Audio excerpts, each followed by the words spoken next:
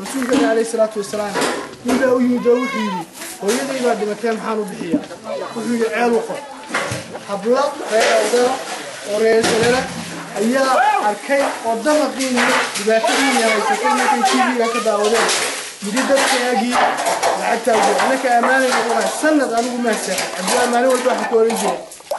Ceelashii ma dhammaysay biidnillaah fadliga ilaahay bay ku timiday fadliga dadkii tabarucaadkaa soo diray ku timiday in ilaahay ay jiibkii annaga ayna soo weydiistay inaan ceelkaa qodanno maanta waxaan dul joognaa. Nimcada alla subxaana wa tacaala ilaahayna siiyey. Number one inay ilaahay ku shukri noqno alla subxaana wa tacaala ba waxaa inoo fugeeyey inaad idinkuna noqotaan dadkii moogtahay ceelkaasi ka faa'iidaysta. Waxaa loogu waxaa laynii samey waa laynii samey waa hadyad weeye waxaa ka timid alla subxaana wa tacaala iyo dadkiinii inaad ilaashataan ood qodataan anuu reer oo banaanay aabbahay baa ceel lahaa. Markaan sannadkii hore halkan imiday waxaan ii geli weyday ummadda meesha ku nool aan ceel lahayn. Markaa maanta haddii laynii qoday insha allah annaku haddaan hayda amiirka meesha lahayn. Ma ilowna dadka waa annaku waan inagu soo noqonanaa. Wixii anagu inii qaban karana waan nii qaban karnaa. Laakiinse inaku inay noqotaan dad wax samaysan kara isku iman kara wax wada qabsan kara. Ilaahay horta wax weydiista. Cid aad wax weydiisataa ma jiro ilaahay wax weydiista. Haddii dad wax nii qaban kara dadkiina ininkaa wax qabsan kara. Qofka saddexaad eed weydiisan kartaan waxuu noqonayaa dadkiina inaga maqan. Walaa hay'ad baan waxba inii qabanaynin walaa dowladda yurubiyan waxba inii qabanaynin walaa maraykan baan waxba inii qaban ininkaa wax qabsan kara. Dhulkani waa nimco anugu maalin qura kuma gaajoodeen haddii halkaa jooga. Insha allah waxaan wada jir u qabsan doonaa. Ilaahay hadduu nala balqato inaad wax qodataan. Inaad wax qodataan inaad wax soo saartaan ya inaynay boontahay nii dhow inaynay waxba u doonin. Caniina aad haysataan. Markaa soo duceeya wajazaakum allah khayr wasalaam ilaahay waxaan ugu mahad celinaynaa in ilaahay noo fududeeyey hawshan inaan qabsano. Hawshan dee waan qabanay imika si fudud baan u qabsanay laakiin waxoogaa la helay laakiin waxaad tijaabiseen inaad qodan kartaan soo saamaha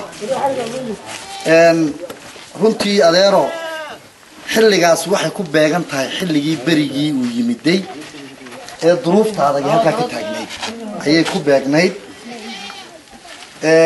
aniguna xilligaasaan la sugayay markaan halkaa ka noqonnay waxa inoo da-ay roob nimcaa dhulka ka dhacday ceelkaa halkaa lama dhaafiye meeshaa dhow lama dhaafiye laakiin ilaahay fadligii maanta waa kaa qodmay biyahaasi markuu roob da-ana way soo buuxsami doonaan waxaan filayaa aan kaftanay reer fiqi aadanow berigiina waataan isqabsanay bahalkaa ilooba ila imka hala qodaa tirahdeen laakiin anu waan diiday soo saa maaha midkeennaa faa'iidada runta ku joogay marka runta laga hadlayo ha soo saa maahayn xilligeedii baan joognaa ilaahay wuxuu inoo keenay rag qoda inaan isla yar fashilmi lahayn baan umalayna weliba waxa inay canaan badani ka timidna weliba waan ogahay noocay doonto se ha noqoto waan guulaysanay soo ma guushaan ku kaftamayna de ila haddeenaan guulaysan maynaa kaftaneene iminkana waxaan leeyahay aaway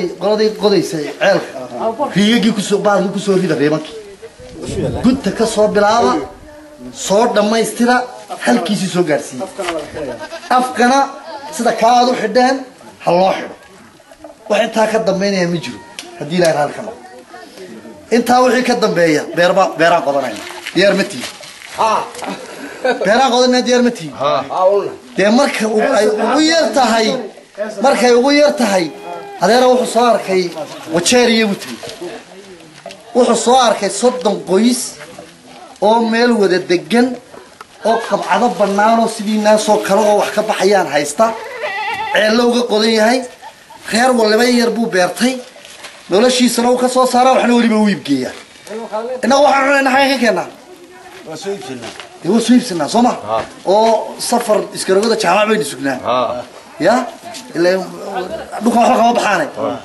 ceelkii wada jirka ahaa صدح قف أفر قف شن قف قول لي بحيوهم بلا قلو. قول عيل كي بيرت اللي بس مين أنا نقل نقلو على صوص عاو هذا اللي اسمه قف صنعيو أفر قف شن قف صدح قف ليح قف عم بلا قلو. قول عيل وذا قدرنا دبي تنا ماشى بيرة. أور نرشو ده مركب كواد وحي عنا يا خصوص عارة intii ku soo deeqday hantida lagu qoday. Halka dowladda ha joogaan. Kan iyo ka kalaba. Waan ugu ducaynaynaa. Intii ku soo hawlgashay keentana waan ugu mahad celinaynaa iyagana waan mahad celinaynaa intaan noo qodeen iyo ka kale noo qodeen waa ku mahadsantiin boqolkiiba waxaan maanta halkani dee maanta aad baan deegaankan haddaan nahay biyaha naloo sameeyey biyahaasuna biyo awali jire ahayn waxaan u mahad celinaynaa hablihii gargaarka soo bixiyey hantida ee ee ka damqaday dadkoogan iyo ummaddan inay wax u qabtaan go'aansaday iyo hay-adda camuud foundation ee fulisay hawshani iyaduna fulisay iyo ciddii gacan ka geysatay hawshaa baan u mahad celinaynaa gudoomiyaha hay-adda camuud foundation oo maanta si wada jir ah iyo sidoo kale madaxa m c h ka fiqi aadan oo si wada jir ah dhagax u dhigay dhismayaal cusub oo muxuu ahaa ku beeri doona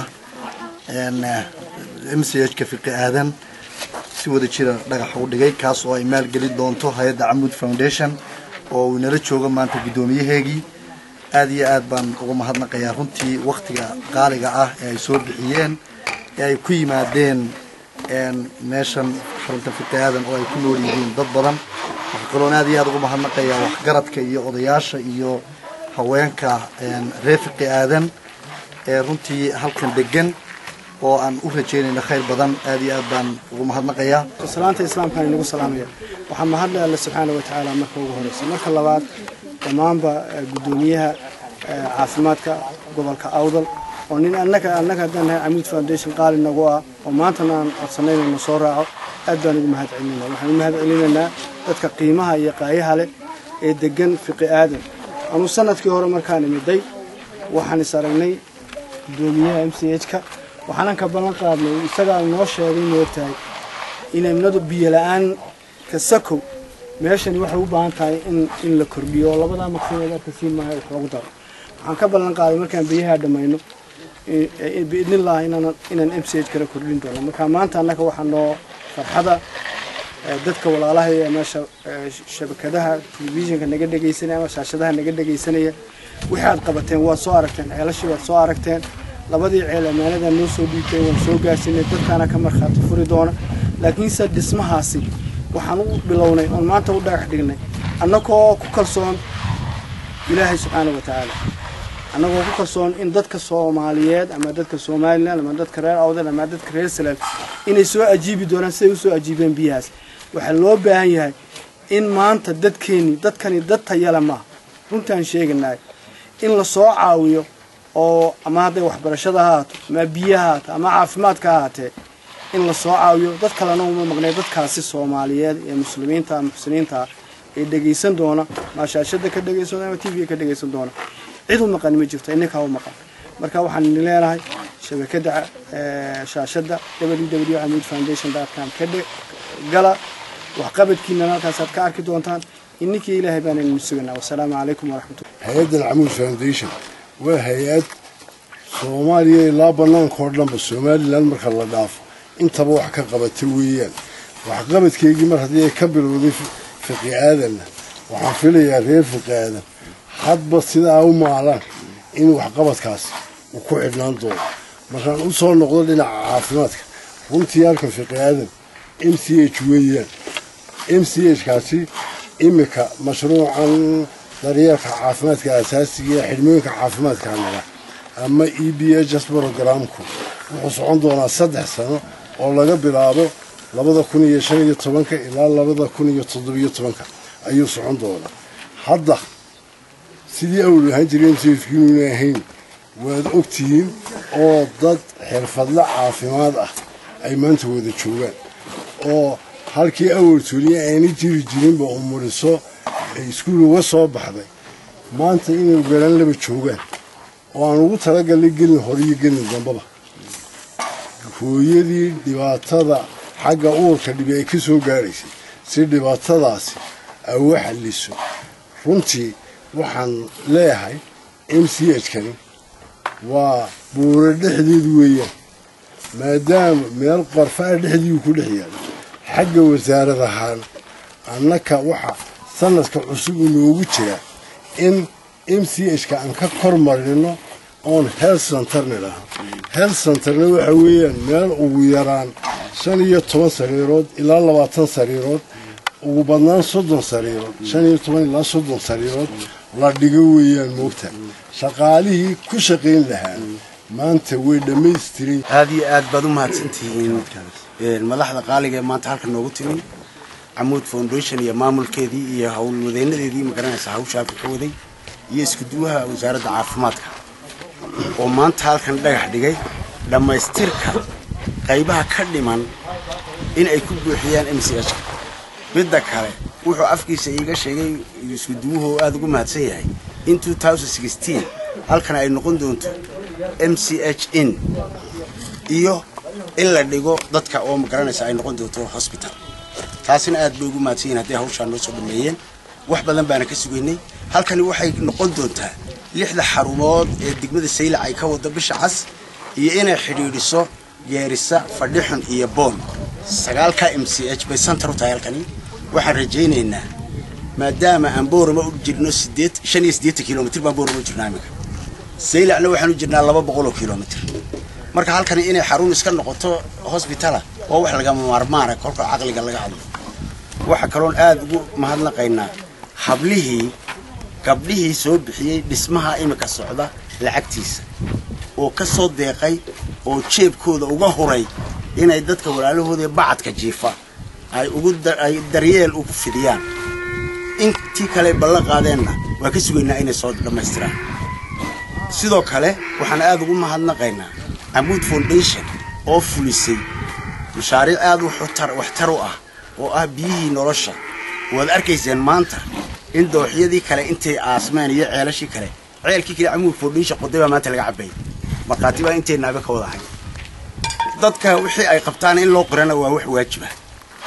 Waxay ku hiran doonaan ama ku dhiiran doonaan inay wax kala qabtaan haddii alla idhaa marka aan wixiina wanaajinno mid baase ka yar ka yar hadal ka sii yar leehay wixii la qabto dadku inay mid u ahaadaan baan dadka kula hadlayaa.